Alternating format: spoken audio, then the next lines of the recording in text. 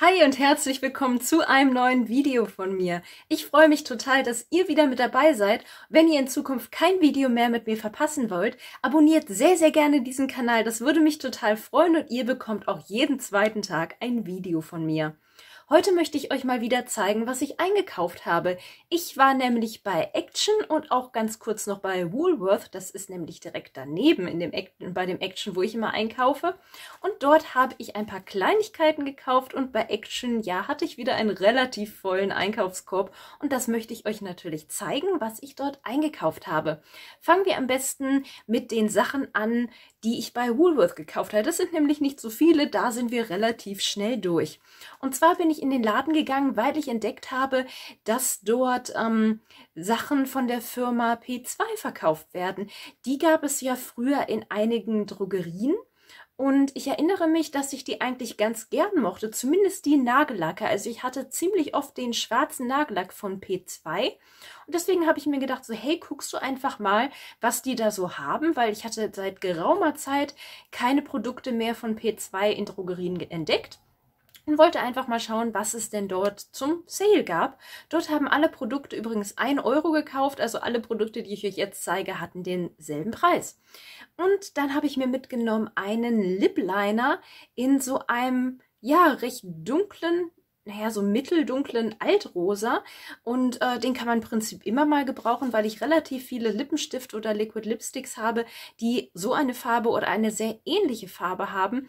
Und weil ich regelmäßig Lip Liner verwende, werden die natürlich auch irgendwann relativ schnell leer. Und ich finde, diese Farbe ist halt wirklich ganz gut. Ich äh, ja, zeichne mal kurz auf der Hand. Die also ist auch sehr, sehr leichtgängig, gibt gut Farbe ab, ist also wirklich ein passabler Lip Liner. Was mich auch interessiert hat, war, dass auf der anderen Seite so ein Pinselchen war. Ich bin mir nicht ganz äh, sicher, wozu ich den brauche, ob ich damit den Lip Liner besser verteilen kann oder ob ich damit Lippenstift auftragen kann.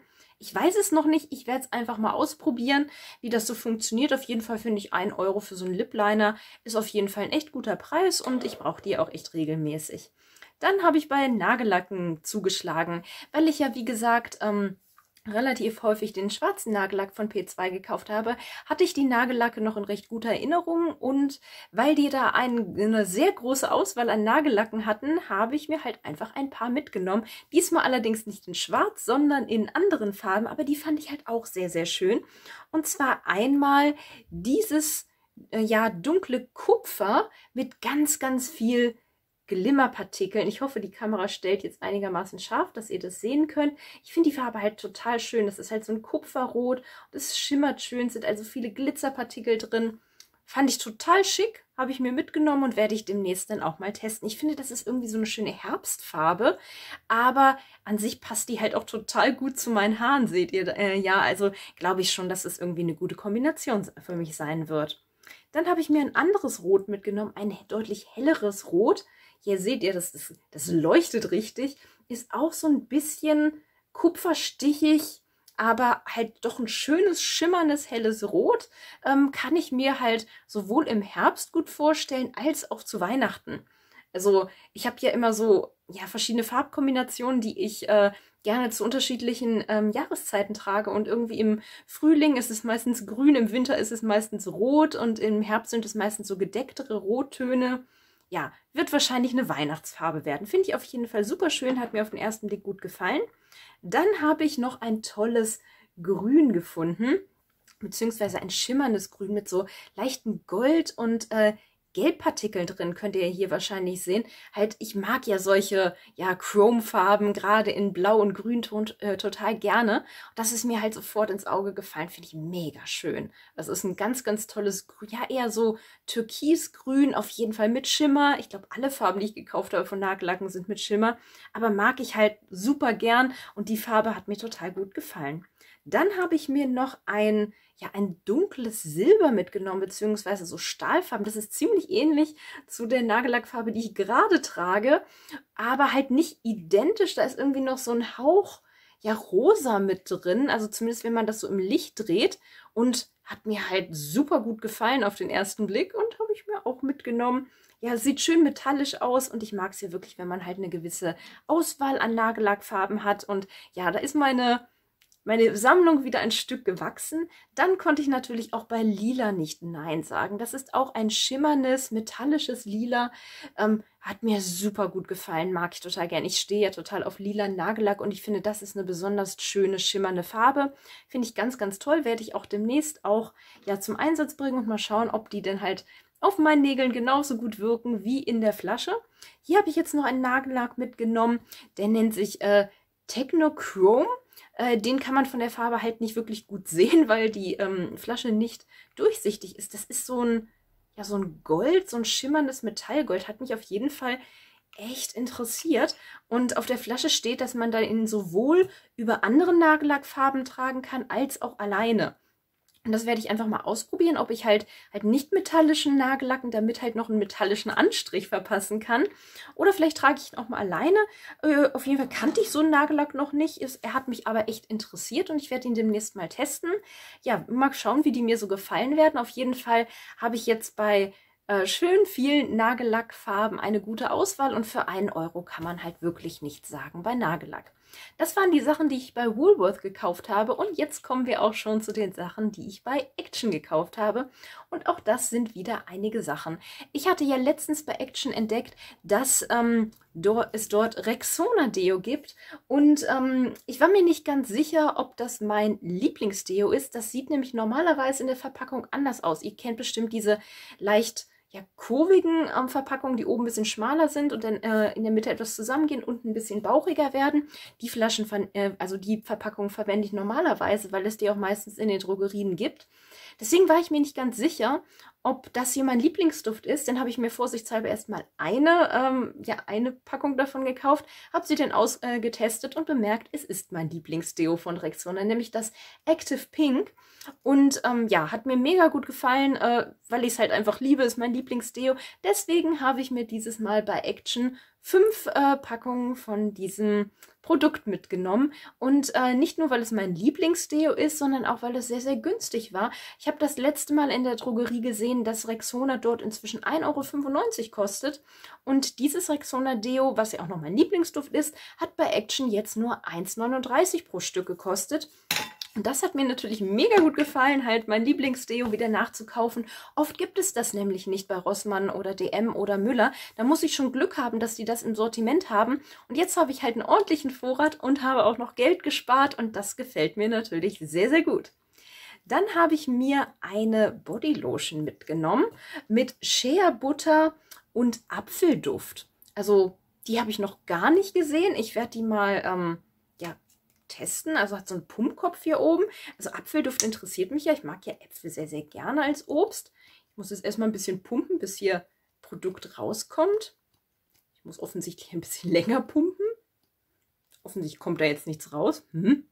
Okay, ich stelle sie mal beiseite und pumpe ein bisschen heftiger. Okay, es kommt tatsächlich gerade nichts raus. Dann werde ich einfach die Packung mal aufschrauben, um daran schnuppern zu können. Ich möchte euch ja berichten, wie mir dieser Duft gefällt trage mir einfach mal ein bisschen was auf der Hand auf.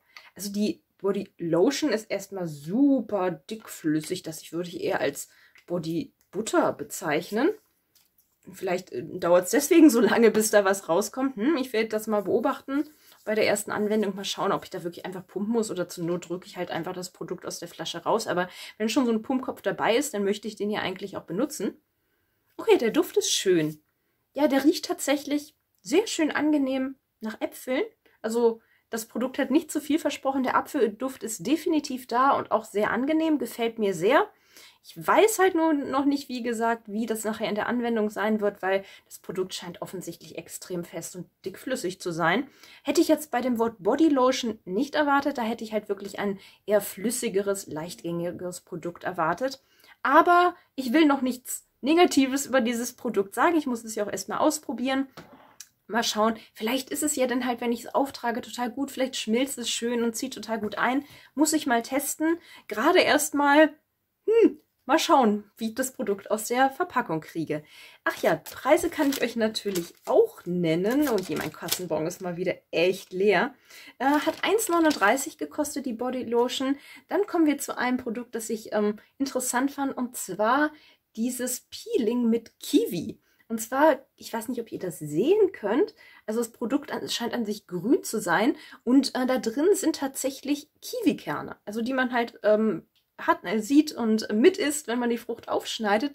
Und die sind da als Peelingkörner drin. Und das finde ich halt wirklich interessant, wenn Produkte halt so natürliche Peeling-Körnchen ähm, haben, sei es zum Beispiel Kaffee oder ähm, Nussscheinstückchen und so weiter. Mit dem Kaffee-Peeling von Action hatte ich ja wirklich schon sehr, sehr gute Erfahrungen gemacht.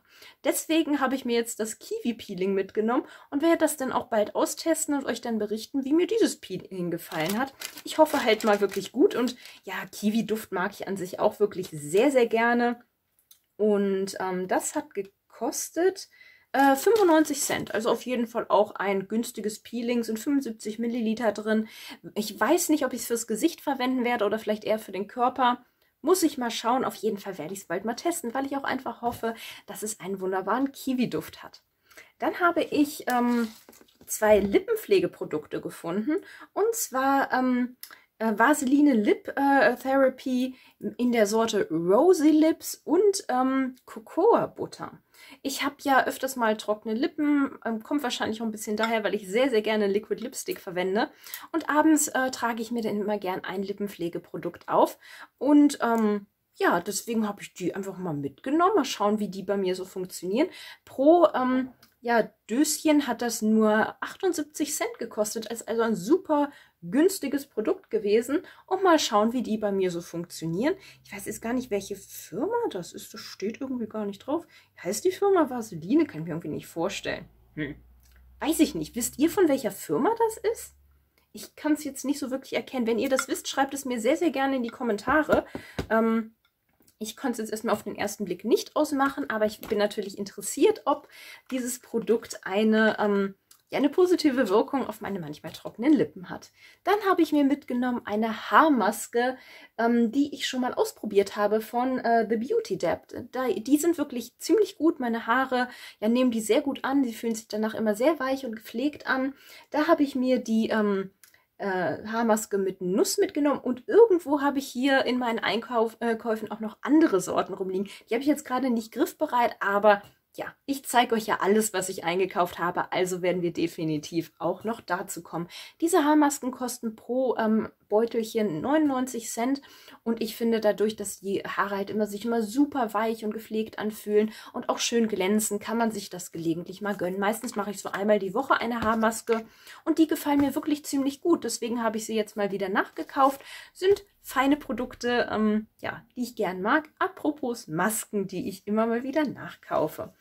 Ähm, auch von The Beauty Depth ähm, habe ich eine Maske gefunden, die kosten 49 Cent haben sie dieses Mal gekostet. Ich weiß jetzt gar nicht, ob das der Fixpreis ist oder ob sie im Angebot waren. Hm. Auf jeden Fall haben sie 49 Cent gekostet. Ähm, die Orangenmaske, die hat mir ja mega gut gefallen, als ich sie zum ersten Mal angewendet habe. Ich habe sie auch schon ein paar Mal nachgekauft und immer mal wieder angewendet. Ist halt eine super tolle Maske. Tolles, dünnes Vlies. Riecht sehr, sehr angenehm nach Orange, hält gut auf der Haut und meine Haut fühlt sich danach wirklich super mit Feuchtigkeit versorgt und ähm, glatt und seidig an. Deswegen habe ich mir davon mal wieder vier Tütchen gegönnt. Ähm, werde ich dann halt auch in den kommenden Wochen immer mal wieder aufbrauchen. Also höchstens, äh, ich denke mal so einmal die Woche werde ich die mir gönnen, weil ich habe ja auch noch andere Tuchmasken, die ich sehr, sehr gerne mag von Action. Und da habe ich mir natürlich auch wieder ein paar mitgenommen. Äh, die kennt ihr natürlich schon aus ähm, vorherigen Hauls, nämlich von The Mask Doctor. Die Masken mit Retinol, Kollagen und Niacinamid. Schwieriges Wort. Ähm, die mit Niacinamid, natürlich mit dem schwierigsten Wort, gefallen mir am besten. Deswegen habe ich mir gleich zwei mitgenommen und von äh, den anderen jeweils eine Verpackung. Ich habe nämlich noch ein paar in meiner ja, Maskenschublade bei mir. Und ähm, aber wenn ich schon mal bei Action bin, denke ich mir, ach komm, kaufst du dir gleich ein paar nach, weil du brauch, äh, nimmst dir sowieso immer regelmäßig und sie gefallen mir einfach sehr, sehr gut. Ich hoffe auf jeden Fall, dass Action die nie aus dem Sortiment nimmt, weil dann bin ich wirklich sehr traurig, weil diese Masken bei mir unheimlich gut funktionieren. Also das ist halt wirklich wie eine richtige Erholungskur für meine Haut. Funktioniert super, mag ich total gern. Eine Maske kostet 99 Cent und das ist sie auf jeden Fall wert. Dann habe ich mir was zum Snacken mitgenommen.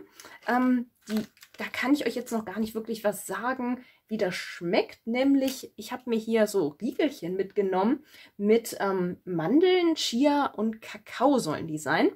Ähm, ja, lasen sich erstmal sehr lecker und gesund. Ich mag ja nussigen Geschmack total gerne. Sind auch nicht besonders kalorienhaltig. Also ein Riegel hat 102 Kalorien. Ich finde für so einen Snack, so eine Süßigkeit für zwischendurch ist das schon in Ordnung. Ähm, und wenn es jetzt auch noch lecker ist, dann ja, sind es die Kalorien auf jeden Fall wert. Kann ich euch allerdings noch gar nicht sagen, ob die lecker sind.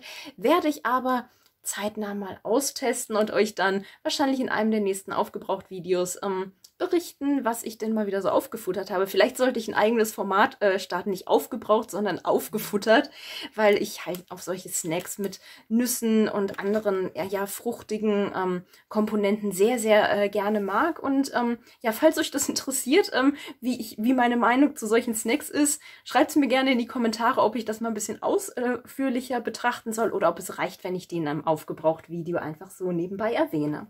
Von den Snacks habe ich mir noch eine zweite Packung mitgenommen genommen, nämlich auch mit äh, Mandeln und äh, Cocoa und äh, Goji-Beeren. Also was Fruchtiges. Die ähm, erste Packung ist ja schokoladig-nussig und jetzt ist es nussig-fruchtig, was auch eine sehr vielversprechende Kombination ist. Äh, interessiert mich sehr, freue ich mich sehr drauf und die haben sogar noch weniger Kalorien, nämlich nur 91 pro Riegel. Finde ich auf jeden Fall ist eine gute Sache. Ich werde natürlich jetzt nicht die ganze Packung auffuttern, sondern so ein Riegel pro Tag reicht dann völlig aus, wenn man irgendwann mal total Lust auf was Süßes hat. Und ähm, ich habe auch nicht jeden Tag Lust auf was Süßes, aber manchmal kennt ihr bestimmt auch, wenn man denkt, so, na, na, na, jetzt was Leckeres irgendwie zum Snacken, dann finde ich, sind solche Riegel eigentlich immer ganz gut geeignet. Auf jeden Fall besser, als irgendwie mehrere Riegel Schokolade zu futtern ich hole mir mal meinen Karton rüber. Dann brauche ich nicht immer da so rübergreifen. Da habe ich nämlich noch einige andere schöne Produkte drin, die ich euch zeigen möchte. Den lehne ich mal hier so an meinen Tisch an. Und zwar habe ich mir mitgenommen äh, eine Creme von der Firma Satina. Die kenne ich gar nicht, aber hm, Achso, die Riegelchen äh, haben pro Packung 1,39 gekostet. Also sind auf jeden Fall auch noch relativ günstig. Manchmal vergesse ich das, die Preise zu nennen. Das sollte ich nicht. Ich versuche mir auf jeden Fall Mühe zu geben, euch natürlich auch über die Preise zu informieren. Deswegen ziehe ich meinen Kassenbon mal wieder etwas näher zu mir. Diese Creme hat auf jeden Fall 75 Cent gekostet. Das ist äh, mit Vitamin C-Komplex und UV-Filter. Ich mag ja wirklich gerne Produkte mit Vitamin C. Deswegen, ja, äh, freue ich mich auch schon darauf, die Creme zu verwenden wie gesagt, ich kenne weder die Firma noch die Creme an sich. Kennt ihr Satina als äh, Firma? Ich werde die mal aufmachen und dran schnuppern. Ich hätte fast den Deckel abgebrochen. Ja, das ist ja mal wieder toll. Ich gebe mir einfach mal ein bisschen was auf die Hand. Verteile das. Fühlt sich auf jeden Fall ja erstmal schon mal recht reichhaltig an. Mal schauen, ob die irgendwie einen Geruch hat. Ja, so ein, ja, riecht irgendwie nach Creme, aber jetzt irgendwie nicht nach einem besonderen Parfüm oder einem besonderen Inhaltsstoff ja, hat äh, jetzt irgendwie keinen besonderen frischen oder blumigen Duft. Also ich finde es aber auch nicht schlecht, wenn Cremes irgendwie nicht so äh, stark parfümiert sind. Es ist ja erstmal wichtig, dass sie gut zur Haut sind, nicht ob sie irgendwie besonders schnuppern. Ich finde es auf jeden Fall erstmal nicht unangenehm, nicht schlecht.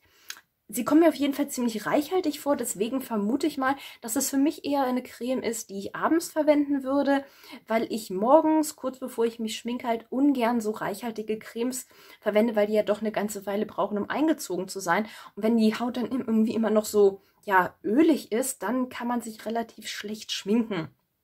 Auf jeden Fall hält bei mir das Make-up dann irgendwie nicht so gut. Deswegen würde ich sie tendenziell abends verwenden. Ich werde sie aber mal ausprobieren und werde euch dann berichten, wie sie mir gefallen hat.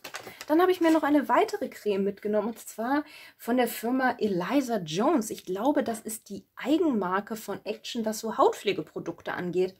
Ähm, ich meine mich zu erinnern, dass Maxim Giacomo die schon mal in einem seiner Halls ähm, erwähnt hat. Ich selber habe von dieser Firma bisher noch nichts gekauft und verwendet, aber diese Creme hat mich interessiert, weil sie auch mit Vitamin C ist und außerdem noch mit, ähm, mit Shea-Butter, Macadamiaöl und Niacinamid. Und ich finde, das ist eine sehr vielversprechende Mischung. Ich werde sie auf jeden Fall demnächst mal ausprobieren und euch dann auch berichten, wie mir diese Creme gefallen hat, ob es vielleicht ein echter Geheimtipp ist, diese Creme und ob man sich, äh, wenn man die äh, verwendet, vielleicht ein paar Euro sparen kann. Es gibt hier durchaus einige Gesichtscremes in der Drogerie, auch etwas höherpreisige mit Vitamin C und Niacinamid die dann vielleicht auch mal gerne so äh, 10, 15 Euro kosten. Und vielleicht ist das eine gute, günstige Alternative. Ich werde sie testen. Die hat nämlich, ähm, achso, Preis natürlich. Die hat äh, 2,79 Euro gekostet. Finde ich für einen 50 Milliliter Tiegel auf jeden Fall einen sehr, sehr günstigen Preis. Und wenn sie dann auch noch gut ist, dann freue ich mich umso mehr. Genau, ich habe ja schon die Haarmasken verwendet und hier habe ich mir eine weitere mitgenommen und äh, zwar die mit Mango und Passionsfrucht. Auch die habe ich schon mal verwendet, die hat mir sehr, sehr gut gefallen. Ich glaube, ich habe jetzt alle drei Sorten von diesen Haarmasken schon verwendet und sie haben mir alle drei sehr gut gefallen. Ich habe jetzt da keinen besonderen Favoriten, dass ich sage, oh, die muss ich auf jeden Fall in größerer Menge nachkaufen, wie jetzt zum Beispiel bei der äh, Niacinamid-Maske von ähm, The Mask Doctor. Die gefallen mir halt alle drei sehr gut. Und je nach Lust und Laune äh, verwende ich die dann, wenn ich denke, hey, heute will ich ein bisschen fruchtiger duften oder heute will ich ein bisschen wärmer, nussiger duften, dann nehme ich halt einfach je nach der Lust und Laune immer die Haarmaske, die mir gerade am besten gefällt. Ich hatte euch ja schon die äh, Tuchmasken gezeigt mit, ähm, ja, mit Orange und dann habe ich mir praktisch aus derselben Linie von äh, The Beauty Dab noch auch äh, die mit ähm, mit Hafer mitgenommen. Äh, gefällt mir halt auch super, super gut. Hatte ich halt auch schon mal verwendet. Der Duft hat mir gefallen. Also das ist im Prinzip die identische Maske. Halt ein sehr, sehr dünnes Vlies, super gut durchfeuchtet. Und die hat im Prinzip gerochen wie der Porridge, den ich morgens esse. Und finde ich halt auch wirklich nicht schlecht, wenn irgendwie, ja, Tuchmasken lecker riechen. Also Orangenduft ist für mich ja auch lecker und der Duft ist für äh, mich auch lecker. Ist, wie ihr seht, nicht mein allererster Favorit, das ist der mit ähm, Orange, aber davon habe ich mir halt auch nochmal zwei Masken mitgenommen und wie gesagt, die haben 49 Cent gekostet. Und da kann man schon mal ein bisschen zuschlagen. Kommen wir dann zu dem Grund, warum ich eigentlich zu Action gefahren bin, nämlich diesen äh, Wasserflosser. Ich weiß gar nicht, ob ihr wisst, äh, was das ist. Das ist ein Gerät, das ich halt bei mir schon länger im Bereich der Zahnpflege anwende. Und zwar hatte ich euch, glaube ich, schon ein paar Mal erzählt, dass ich längere Zeit Probleme mit Zahnfleischentzündungen hatte. Und mir hat es denn nicht nur sehr geholfen, die ähm, Produkte von Meridol anzuwenden, also die Zahnpasta und die äh, Mundspülung, sondern auch noch ein Zahnzwischenraumreiniger zu verwenden. Es gibt ja auch diese kleinen ähm, ja, Stäbchen, wo ähm, Zahnseide dran befestigt ist oder Zahnseide an sich. Habe ich alles ausprobiert. Ich muss aber sagen, dass mir halt Zahnzwischenraumreiniger mit Wasser irgendwie am besten gefallen. Äh, ich habe schon einen äh, jetzt seit ungefähr drei Jahren in Anwendung. Also es ist ein fast identisches Gerät und langsam, ja, bekommt der so ein bisschen Altersschwäche. Also äh, man füllt das zum Beispiel mit Wasser und da ist so ein Verschluss ähm, mit so einem ja, praktisch ein kleiner Stöpsel. Und da wird es jetzt langsam undicht, weil ich benutze das Gerät ja auch täglich mindestens zweimal. Wenn ich immer beim Zähneputzen, wenn ich fertig bin, dann gehe ich halt nochmal komplett die Zahnreihen äh, entlang und spüle mir eventuelle, ja, Reste irgendwie so, oder so kleine Sachen, die dann noch zwischen den Zähnen sind. Man kann sich auch nicht wirklich gut so in den Zwischenräumen mit äh, Putzen. Mit der elektrischen Zahnbürste geht das schon besser, finde ich, aber man bekommt ja nicht alles raus. Und dafür verwende ich dann so ein Gerät. Das fülle ich mit Wasser und auch ähm, oft mache ich noch etwas Mundspülung mit rein. Das schmeckt dann auch noch besonders frisch. Und dann spritzt man sich das halt mit diesem kleinen Ventil so zwischen die Zähne und spült alles raus, was da eventuell noch drin sein könnte. Manchmal mache ich das auch nach einer Zwischenmahlzeit, wenn man denkt, hm, okay, Zähne putzen kann ich jetzt nicht, brauche ich jetzt nicht unbedingt, aber da ist noch so eine Kleinigkeit, dann kann man das auch zwischendurch einfach mal verwenden. Gefällt mir halt mega gut das Gerät, das ich aktuell in Anwendung habe. Wie gesagt, es wird halt langsam ein bisschen undicht am Wassertank. das ist natürlich blöd, wenn halt, ähm, wenn man da Mundspülung reingefüllt hat und dann tropft es über den Tag äh, verteilt irgendwie ins Waschbecken und wird nicht verwendet. Deswegen habe ich mir jetzt ein neues gekauft. Das war nämlich im Angebot für 14,95 Euro. Das Gerät, das ich aktuell in Anwendung habe, das hatte ich mir bei Amazon bestellt und das hat rund 30 Euro gekostet. Also habe ich jetzt ein Gerät für etwa die Hälfte des Preises und das werde ich heute Abend dann auch gleich in Anwendung bringen und mal gucken, wie es mir gefällt. Das andere werde ich nicht wegwerfen, denn es funktioniert ja noch. Eventuell werde ich das irgendwie bei meinen Eltern bunkern, dass ich dann, wenn ich äh, sie besuche, auch dort ein Gerät zur Verfügung habe. Muss ich mal schauen, eventuell mache ich das so oder ich stelle das irgendwie ins Regal für den Fall, dass ein Gerät vielleicht mal runterfällt und kaputt ist, dass ich auf jeden Fall dann noch ein weiteres habe. Für mich auf jeden Fall ein super lohnenswertes Gerät und falls ihr auch Probleme habt mit ähm, ja, Zahnfleischentzündung oder immer mal wieder das Gefühl habt, dass ihr bei der Zahnreinigung ja die Zahnzwischenräume nicht so richtig erreichen könnt, wäre das auf jeden Fall eine sehr, sehr gute Ergänzung für eure Zahnpflege. Bei mir hat das auf jeden Fall sehr, sehr gut geholfen und ich finde für 14,95 Euro so ein Gerät, was halt wirklich meine Zahnpflege so extrem verbessert hat, da kann man überhaupt nicht meckern. Oh, hier ist noch ein Rexona Deo in meinem ähm, äh, ja, in meinem Einkaufskorb, wie gesagt, habe ich mir fünfmal gekauft. Ja, das liegt halt äh, gelegentlich mal dazwischen. Dann habe ich mir für 99 Cent eine, ähm, ja, eine Gesichtsmaske von The Beauty Depth. Ist das eigentlich auch eine Eigenmarke von Action? Ich glaube ja, oder? Ähm, mitgenommen mit, ähm, ja, ähm, Orangenblütenwasser also ja, es ist was Orangiges, also hat es mich natürlich gleich interessiert. Es gab da mehrere Sorten von, aber ich habe natürlich bekanntermaßen mal wieder zu der Orangensorte gegriffen. Auch hier werde ich mal gleich testen, wie das so schnuppert. Also ich rieche jetzt so nur einen Hauch Orange, aber es riecht angenehm. Es riecht schön mild, leicht fruchtig, gefällt mir erstmal sehr, sehr gut. Ähm, muss ja auch nicht stark parfümiert sein. Gerade wenn man das so 20 Minuten im Gesicht einwirken lässt, muss ich da auch nicht so viele Duftstoffe drin haben. Ich bin mal gespannt, wie mir diese Maske gefällt.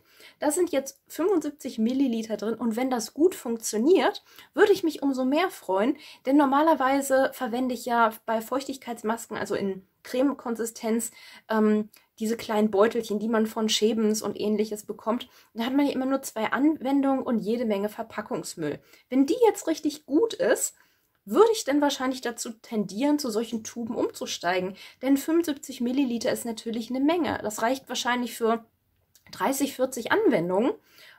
Ich weiß es nicht ganz genau, wie viel Milliliter verwendet man bei so einer Maske. So 2, 3 Milliliter. Ich bin jetzt nicht ganz sicher.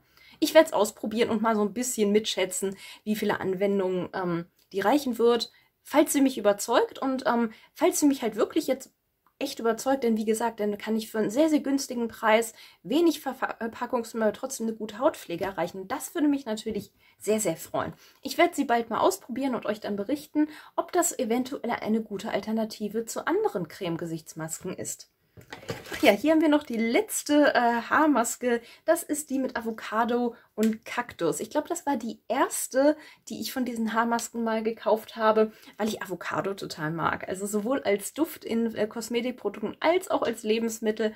Und dann hat mich natürlich diese total niedliche, knuffige Avocado ähm, gleich angesprochen. Und auch die Haarmaske hat mir richtig, richtig gut gefallen. Und die habe ich mir jetzt auch mal wieder nachgekauft. Dann habe ich mir äh, Beauty Sponges gekauft. Und zwar ähm, ja diese niedlichen hier einmal mit diesem Kiwi-Aufdruck und auf der anderen Seite die Wassermelone. Die haben 1,49 gekostet. Es sind, glaube ich, zwölf Stück drin. Und das sind nicht diese runden, eierförmigen Beauty Sponges, die wir alle kennen, sondern die sind halt so wie so Tortenstückchen zugeschnitten. Und äh, solche habe ich bei mir noch gar nicht. Aber ich kann mir vorstellen, dass ich sie eventuell ganz gut gebrauchen könnte. Denn ähm, öfters, wenn ich hier so Concealer so im Augenwinkel verteile, dann ähm, sind die, ähm, ja, die größeren Beauty Sponges manchmal ein bisschen, ja, zu groß oder sie, den komme ich an die Wimpern oder ich verteile äh, den Concealer zu viel. Deswegen kann ich mir gut vorstellen, dass solche solche kleineren Beauty Sponges mit einem sehr, sehr spitzen Winkel vorne da eventuell gut funktionieren könnten. Und bei dem Preis kann man halt nun wirklich nichts sagen. Also das sind ja eigentlich nur knapp über 10 Cent pro äh, Schwämmchen. Ich werde sie auch bald bei meiner, ja, bei meinem nächsten Make-up werde ich sie mal ausprobieren. Und eventuell habe ich hier eine gute Ergänzung für meine Make-up-Routine gefunden. Dann habe ich mir noch mitgenommen die normalen Beauty Sponges. Die sind von der ähm, Firma Max Moore, wo es ja wirklich reichlich Produkte bei Action äh, gibt. Ähm, da gibt es dieses Dreierpack für 1,99 Euro. Ist einmal so ein mintgrünes Ei drin, ein rosanes und ein oranges. Sind halt optisch erstmal super süß. Auf dem orangen äh, steht Smile, auf dem grünen Joy und auf dem äh, rosanen ist ein Herzchen. Ähm, ich habe jetzt äh, die noch nicht getestet von Action, ob die gut sind. Aber manchmal sind äh, Beauty Sponges ja auch sehr, sehr gut, wenn sie, auch wenn sie günstig sind zum Beispiel ähm, der Sponge von Essence, der gefällt mir ja mega gut. Der kostet ja, glaube ich, auch nur 2,99 oder 2,49 manchmal sogar. Und der ist ja auch wirklich sehr, sehr günstig und der gefällt mir mega gut. Den verwende ich mindestens genauso oft wie meine Schwämmchen von Luvia.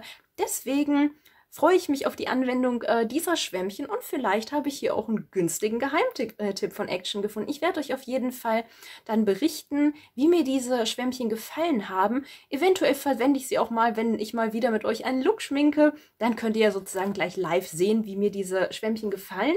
Und ja, eventuell habe ich jetzt mal wieder einen schönen Schnapper gemacht. Ich freue mich auf jeden Fall auf die Anwendung von allen Produkten, die ich gekauft habe. Manche kenne ich ja schon und weiß halt ganz genau, dass sie wirklich sehr, sehr gut sind. Andere sind neu und eventuell kommen sie auch bald zu meinen Favoriten. Das war mein Haul von Action ergänzt mit ein bisschen Woolworth, hauptsächlich Nagellack. Ich hoffe, es hat euch gefallen, ihr hattet Spaß. Ich hatte auf jeden Fall beim Einkaufen und beim Zeigen der Produkte wieder richtig viel Spaß. Ich hoffe, wir sehen uns ganz bald wieder. Ich freue mich auf euch, eure Ramis.